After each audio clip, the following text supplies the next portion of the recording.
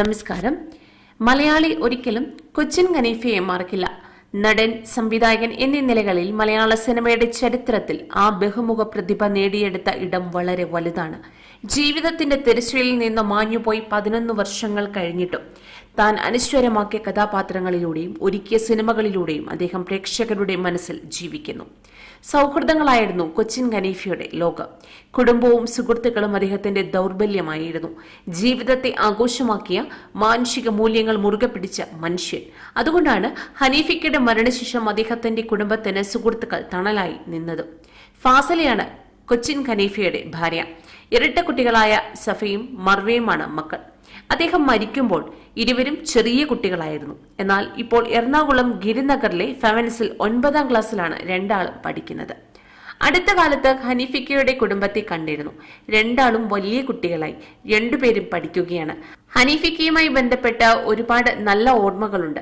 സ്നേഹത്തിന്റെ പര്യായമായിരുന്നു ഹനീഫിക്ക. അതുകൊണ്ടാണല്ലോ ദിലീപേട്ടൻ ഉൾപ്പെടെയുള്ള കൂട്ടുകാർ അദ്ദേഹത്തിന്റെ കുടുംബത്തിന് പിന്തുണയുമായി നിൽക്കുന്നത്. ദിലീപേട്ടൻ ഇപ്പോഴും ആ വീടിനു വേണ്ടി ഒത്തിരി കാര്യങ്ങൾ ചെയ്യുന്നുണ്ട്. കൊച്ചിൻ ഖനീഫയുമായി ഏറെ അടുപ്പമുണ്ടായിരുന്ന പ്രൊഡക്ഷൻ കൺട്രോളർ ബാദുഷ പറഞ്ഞു. ഞാൻ ആദ്യം അഭിനയിക്കാൻ ചാൻസ് ചോദിച്ചത് ഹനീഫിക്കയോടാണ് വാത്സല്യം കഴിഞ്ഞ സമയത്താണ്. ഒരു ചടങ്ങിൽ വെച്ച് കണ്ടപ്പോൾ ഞാൻ അദ്ദേഹത്തോട് അഭിനയമോഹം പറഞ്ഞു.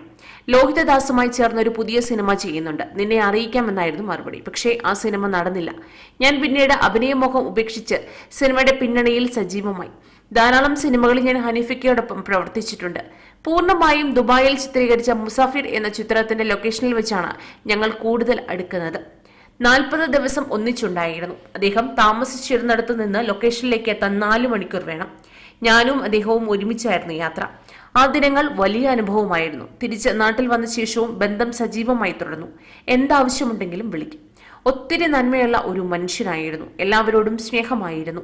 ആരെയും സഹായിക്കാനുള്ള മനസ്സുമുണ്ടായിരുന്നു കുടുംബാംഗങ്ങൾ എപ്പോഴും തന്റെ കൂടെ തന്നെ വേണമെന്നായിരുന്നു അദ്ദേഹത്തിന്റെ ആഗ്രഹം. അദ്ദേഹം വിട്ടുപോയി എന്നറിഞ്ഞപ്പോൾ വിശ്വസിക്കാനായില്ല. ഇപ്പോഴും ആ നഷ്ടം നികത്താനായിട്ടില്ല എന്നും ബാദുഷ പറയുന്നു.